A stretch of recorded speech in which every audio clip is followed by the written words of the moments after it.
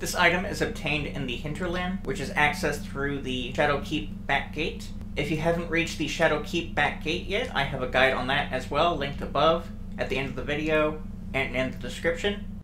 But before going there, we'll need a gesture from north of Bonny Village. So going from the Bonny Village site of Grace, head towards the south, towards the outer edge of the village, jump down, go towards the bridge, and to the left of the bridge, continue going towards the edge of the cliff, continue going till you reach the tree, and in front of the tree, you'll be able to pick up the Oh Mother gesture, and that is picked up at this location on the map. Now travel to the Shadow Keep back gate site of Grace, and then go right, go to the statue, equip the gesture, Oh Mother, use the gesture, the statue will slide to the side, go forward,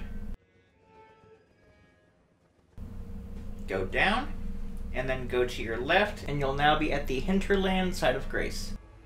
From here, go southeast,